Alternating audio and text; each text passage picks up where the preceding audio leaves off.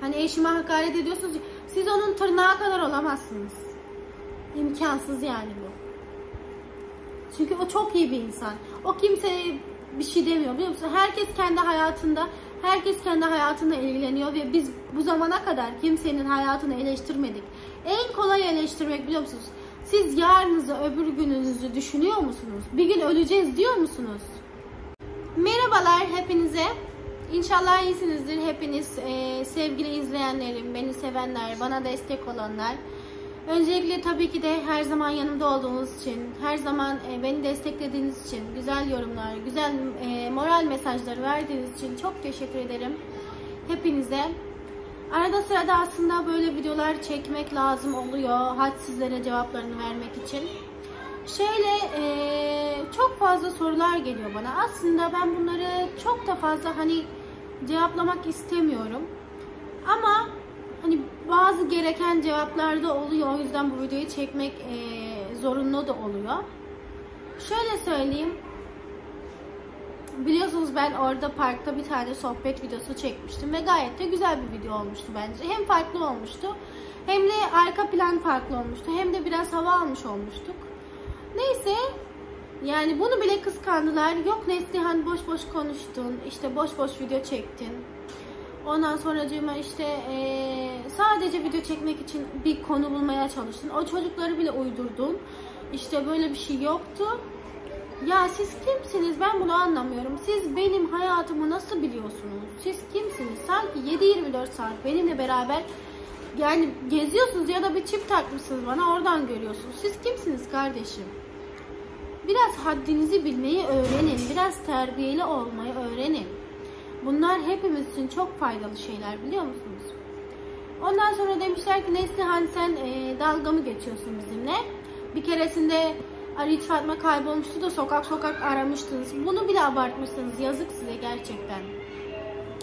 Yani bu e, hani ev, evinde kimseye söz dinlettiremeyenler var ya hani kimsenin hayatında kimsenin bir faydası olmayan yani kendi sözünü evinde geçiremeyenler hiçbir değeri olmayanlar hep dışlananlar geliyor burada bana sataşıyor. Başka çünkü yapacakları bir şey yok. Yani başka bir aktiviteleri vesaire başka bir konuları yok ki bana gelip burada sataşıyorlar. Bu bir. Hiç de boş bir video değildi. Çok farklı ve çok güzel bir video olmuştu benim için. Ondan sonra e, biri demişler ki bizim zor sorularımız cevap. Ben zaten sizin kaç tane zor sorularınızı cevapladım. Ben kimseden korkmuyorum. Ben sadece Allah'tan korkuyorum. Kimseden bu zamana kadar korkmadım ve korkmayacağım. Ben sadece Allah'tan korkuyorum. Ondan sonra ben TikTok açtım biliyorsunuz. TikTok'umu kapatmaya çıktı. Ya, tamam bak. İnsan gibi gerçekten beni destekleyenlerin de bana söylediği şeyler var. Diyorlar ki Neslihan'cığım orası iyi bir ortam olmayabilir. Sana uymayabilir. Bence sen kullanma. Bir de edepsizce gelip yazanlar var. Ay bu ne iğrenç ses. Ay çok kötü. Yok ay sen Filistin'i unuttun bile. Sen destek bile vermiyorsun Filistin'e. Yalandan ağlıyorsun. Kendi zorla ağlattırmaya çalışıyorsun falan filan. Bu bir. Şunu söyleyeyim. Filistin'le ilgili konu gerçekten çok e, acayip bir konu. Yani çok aslında özel bir konu bu. Eğer biz Filistin'in acısını gerçekten yaşıyorsak biz bunu kalbimizle yaşarız. Biz bunu içimizle yaşarız. Siz ne istiyorsunuz ben anlamıyorum. Ben yemek yemeyeyim, çocuklarıma yemek vermeyeyim. E, hayatımıza normal bir şekilde devam etmeyelim. Her saat ağlayalım, her saat kendimizi mahvedelim. Bunu mu istiyorsunuz? Maalesef böyle olmuyor. Bunu siz de yapamazsınız. Bunu hiç kimse yapmıyor. O acı dediğiniz şey sizin sadece kalbinizde olmalı. Bu konuyla beni eleştiremezsiniz bile tamam mı? Ben gerçekten Filistin için çok üzülüyorum. Ve her zaman dua ediyorum. O küçük çocuklar için, Müslüman kardeşlerimiz için, Gazze için ve diğer e, zor durumda olan bütün insanlar için dualarımı ediyorum. Bunu ben biliyorum bir de Allah biliyor. Sizin bilmenize gerek var mı? Yok. Ki siz zaten uyduruyorsunuz. Siz sadece klavye delikanlısısınız biliyor musunuz? Yok boykot yapalım, yok şunu yapalım, yok bunu yapalım, yok Neslihan ay ondan aldı, yok şundan yedi, yok çocukları onu aldı, onu yedi. Bu kadar neden dert oluyoruz biz size? Filistin'le konuda şunu söylemek istiyorum. Benim haricimde de kimse ama kimse e, Filistin'deki olduğu gibi Sadece Filistin'e üzülüyor diyor. Yemek yememezlik. Hayatına devam etmemezlik yapmaz. Yapamıyoruz zaten. Bu olamaz. Bizim çocuklarımız var, bizim görevlerimiz var. Biz sabah kahvaltı hazırlamak zorunda mıyız, zorunda mıyız? Sabah kalktık, çocuklar kalktılar, acıktılar. Kahvaltı hazırlayacağız mı? Hazırlayacağız. Yani zor, bizim bir görevimiz var. Ve biz bunu yapacağız. Ne kadar üzülürsek üzülelim, yasta olursak olalım bunu yapmak zorundayız. Ben bu videoları çekmek zorundayım. Çekiyorum da. Çekiyorum da. Bana diyorsunuz ki Neslihan TikTok'ta şarkı okuyorsun. Yok sesin çok iğrenç, çok çok kötü, hiç beğenmiyor. Beğenmiyorsanız izlemeyin o zaman. İzlemeyin. Bu şarkı okumamın, bu video paylaşmamın, yemek yememizin ya da hayatımıza normal bir şekilde devam etmemizin Filistin'le ilgili hiçbir alakası yok. Filistin'in acısı bizim kalbimizde, biz içimizde yaşıyoruz zaten. Dualarımızda eksik etmiyoruz. Namaz kıldığımızda dualarımızı ediyoruz. Her zaman aklımızda mı aklımızda? Akşamları başımızı yastığa koyduğumuzda aklımıza geliyor mu o çocuklar? Orada yaşanan savaş tabii ki de geliyor. Rahat bir şekilde uyuyamıyoruz ve biz bunu biliyoruz. Allah'la aramızda olan bir şey bu. Rabbim daha da iyi biliyor bizim ne kadar üzüldüğümüzü, ne kadar acı çektiğimizi bu konuyla ilgili. Yani dediğim gibi sadece ve sadece klavye delikanlısı yapmak için geliyorsunuz yazıyorsunuz. Siz benim hayatıma karışamazsınız bu bir. Bana hakaret etme hakkınız yok bu iki. Ve e, benim benim yerime benim hakkımda düşünemezsiniz. Bu da üç. Bunu unutmayın. Madem sevmiyorsunuz, madem izlemek istemiyorsunuz, ben kimseye zorla gelin videomu izleyin demiyorum. Yüzsüz gibi geliyorsunuz. Yani resmen bir yüzsüzlük biliyor musunuz? Yüzsüz gibi geliyorsunuz videolarıma bakıyorsunuz. Madem siz Filistin'i bu kadar düşünüyorsunuz o zaman gidin Filistin'de savaşın tamam mı?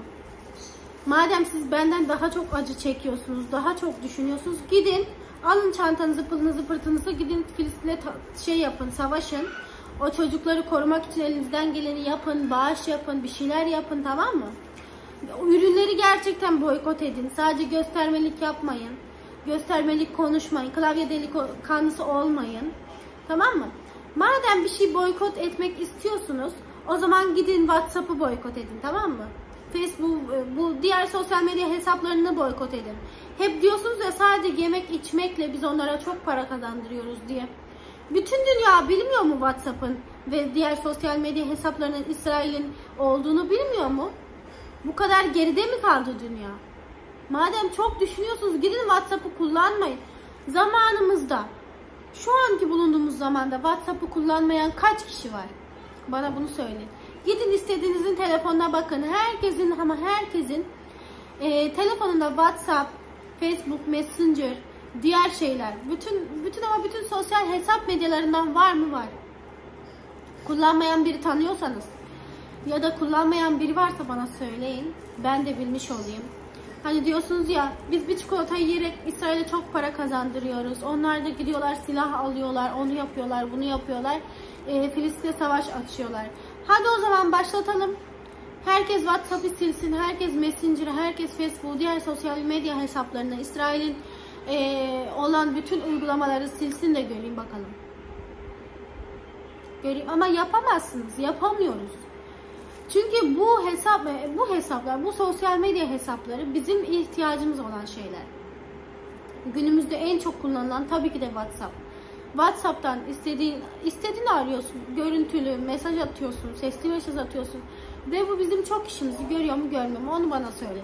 Biraz gerçekçi olun. Peki ya siz bu İsrail'in buralardan ne kadar çok para kazandığını biliyor musunuz? Bilmem kaç milyar para kazanıyorlar buradan. Bundan haberiniz var mı? Gelip de beni eleştiriyorsunuz. Yazıklar olsun size be. Gelip de bir de bana burada yazıyorsunuz. Klavye delikanlısı oluyorsunuz. Ancak bana yetiyor değil mi gücünüz? Sanki siz hiç normal hayatınıza devam etmiyorsunuz.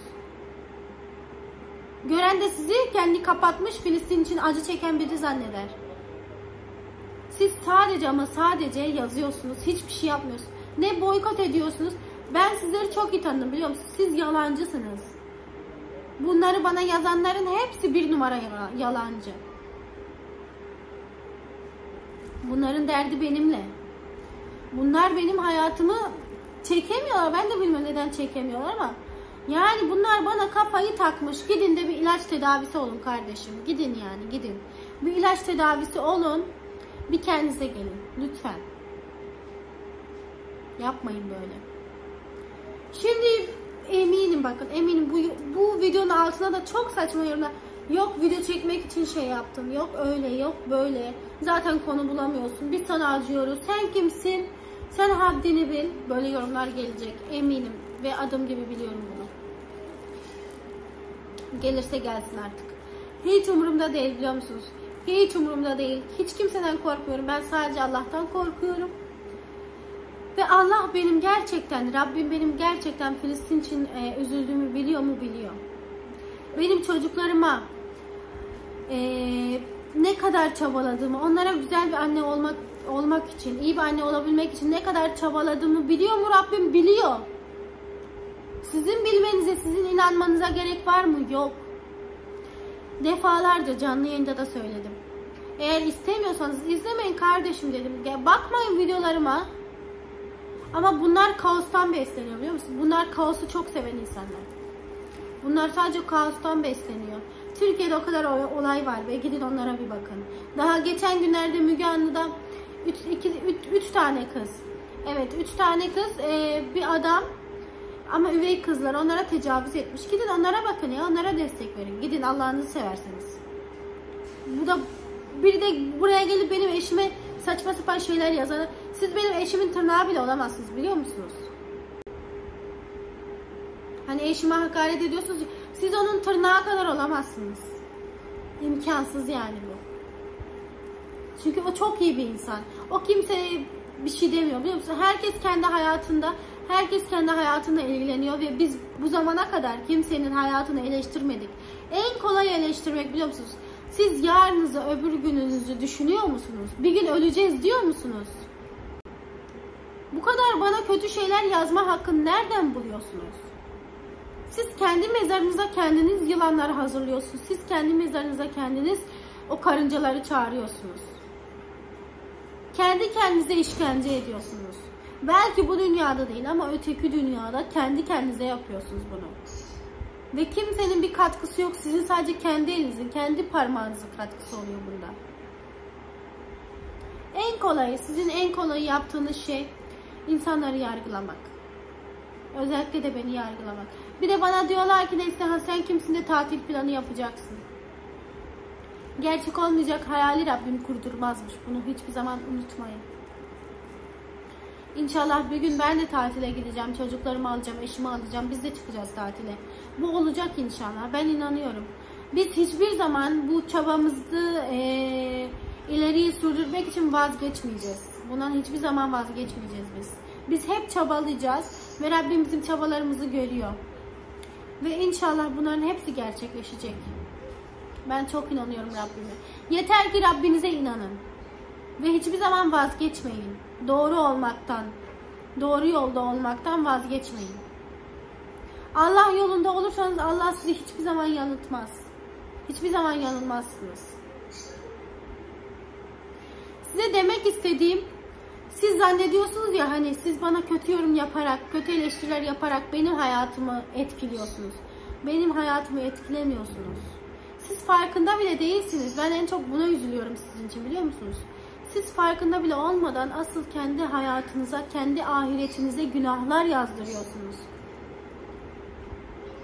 Kendi kendinize yapıyorsunuz bunu. Ama farkında bile değilsiniz. Çünkü sizin gözünüzü öfke kaplamış. Başka bir şey görmüyorsunuz. Benim bu zamana kadar kime ne zararım oldu bana söyleyin. Size bir zararım mı dokundu? Ya da sizden bir şey mi istedim? Ya da sizin bir kuruşunuz benim boğazımdan mı geçti? Benim çocuklarımın, benim eşimin boğazından mı geçti? Bana bunu söyleyin. Sadece gelip yazıyorsunuz. Yazık gerçekten yani yazık. Ben size çok acıyorum biliyor musunuz? Hem de çok acıyorum. Bana diyorsunuz ya cahilsin, okumadın falan. Sizler okudunuz da ne oldu? Ne oldu okudunuz da ne oldu onu söyleyin bana. Cahilin önde gideni oldunuz. Hem de cahilin önde gideni biliyor musunuz?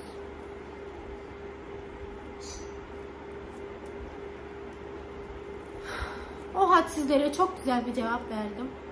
Şimdi de kudursunlar bakalım. Biliyorum nasıl kuduracaklarını. Kudursunlar. Onlar bu konuştuklarımın her şeyini hak etti. Ha kapatmadan bir şey daha diyeceğim. Bana hani diyorsunuz ya hep Filistin'i düşünüyormuş gibi yapıyorsun ama her şeyine devam ediyorsun. Video çekmeye, TikTok'ta şarkı paylaşmaya, her şeyi devam et, gezmeye devam ediyorsun. Siz yapın da göreyim. Yapın da göreyim. Haydi bakayım sizi.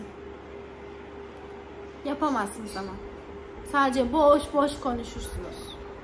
Boş insansınız. Çok boş insansınız. Hem de çok.